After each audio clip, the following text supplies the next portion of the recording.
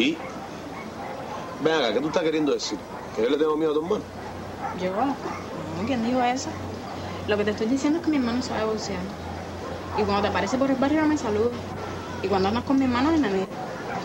Eso no. Ah, es que paro poco por el reparto. Dichoso tú. Acá, Muriel. ¿Qué tú tienes ya, eh?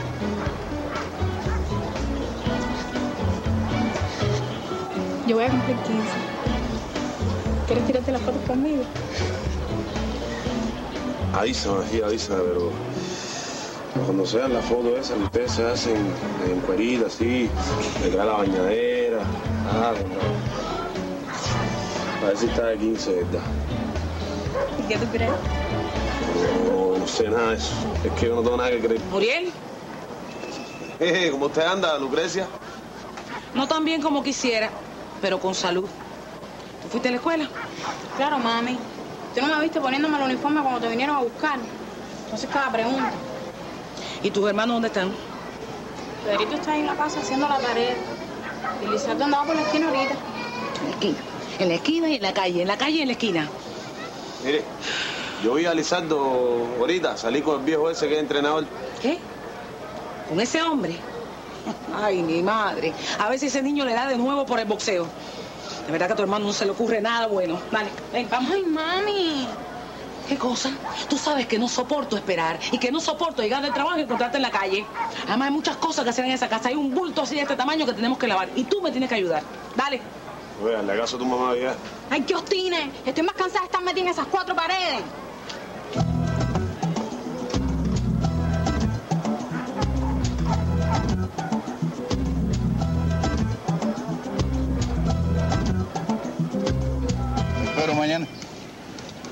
Profe, es que imagínese, mire la facha que yo traigo. Con esto yo no puedo entrenar boxeo. No, de eso no te preocupes. Dime si quieres empezar a entrenar, sí o no. Yo algo puedo buscarte para el entrenamiento.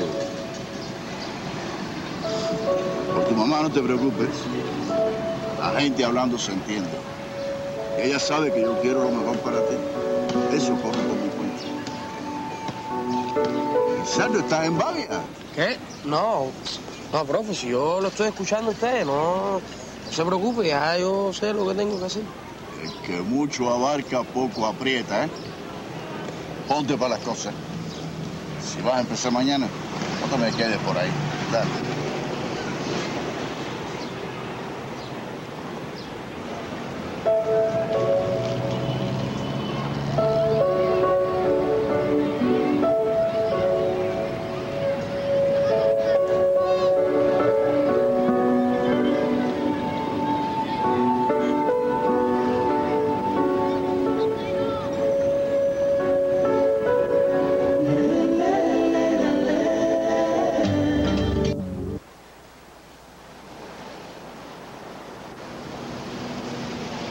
Me parece que te haya gustado el color.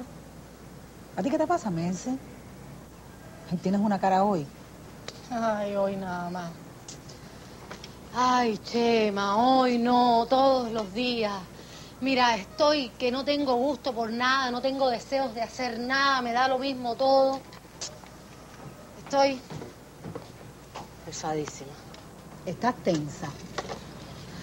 ¿A ti cómo te va con Edgardo? Ay, Iracema, ¿cómo me ir con Edgardo? Igual que siempre. Todos los días metido debajo del carro, los domingos las visitas a casa de Agustina.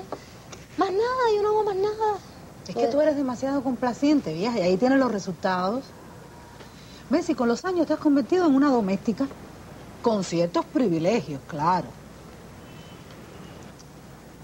Ay, Chema, mira, ¿para qué vamos a hablar de mí? Cuéntame de Delaney, ¿cómo está? No, está bien, de salud bien. Déjame tocar madera. Uy. Y con su majadería ahí, estudiando mucho. Está todavía entre los primeros expedientes. Ay, Messi. Con los hijos nunca se acaba. Luego, a ver, de quién se enamora. Sí, pero la que elige es ella, no tú. No, no, no, no, no. no. El hada madrina soy yo. El ojo de la mongol del caballo. Lo que ella elija también me tiene que entrar por aquí. ¿Qué te parece? si usted lo dice.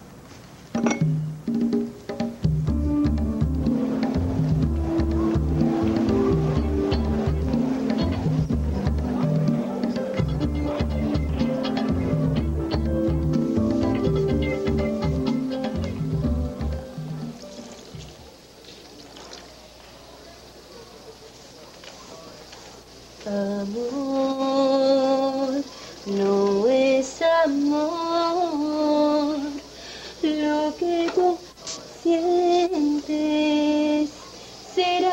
obsesión.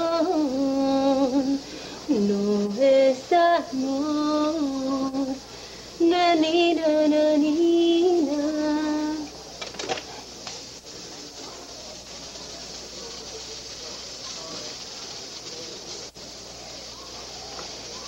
Son las cinco de la mañana. Tare, tare, papara, tare, ta-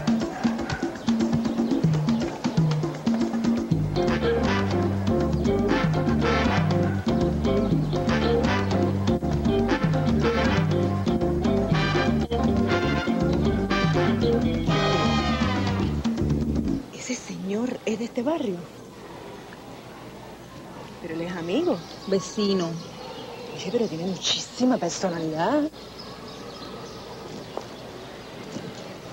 ¿Qué? ¿No tienes nada que decirme? Bueno, es del barrio, medio soltero. Y creo que no le gustan los amarres. Uy, las ataduras. Habla bien. Ahí tú me entendiste. Tiene una descargante, un frescor, un amante, algo de eso. Ven acá y ¿cuál es tu interés por Cosme? Cosme.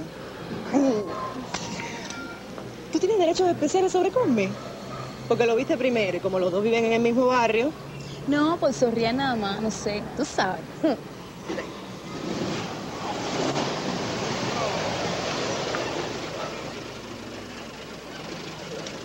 Sino que el 0 y 70 en Miramar y después nos vamos para Pedado. Dale, niña, que nos esperan para formarla.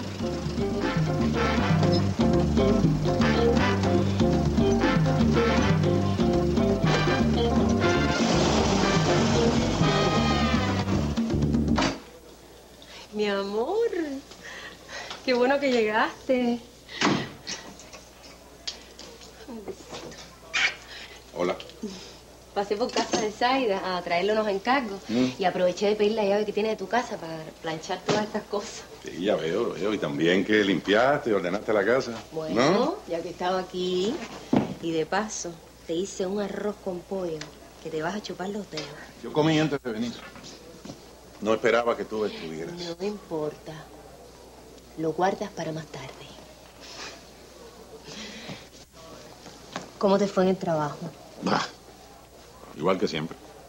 Atraca un barco y empiezan las complicaciones. Además, un calor y un sol del carajo. No, ¿No te gusta que haya venido a ayudarte? es que no te esperaba, Rosa Maura. Recuerda que tú y yo habíamos convenido en que tú me llamabas. Tenías algún compromiso, ¿no? Rosa Maura, he tenido un día de mucho trabajo. Y venía con la idea fija de darme un baño y acostarme hasta que el cuerpo me botara de la cama. Además, no te esperaba. Pero estoy aquí. Rosa, Rosa. A ver, cariño, a ver, mira. Habituarse a vivir solo. Los hace algo desamorados, ¿no? Mm, mm. Venga, prepárame el baño, ¿quieres? Eh, prepárame el baño. ¿Te parece que voy a tener que cambiar de planes?